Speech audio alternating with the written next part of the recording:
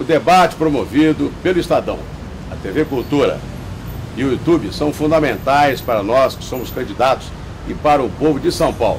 Convido a todos a assistirem, mesmo porque serão propostas que iremos colocar para todos, buscando soluções para a nossa cidade. Muito obrigado a todos. Aqui fala Levi Fidelis. Um forte abraço.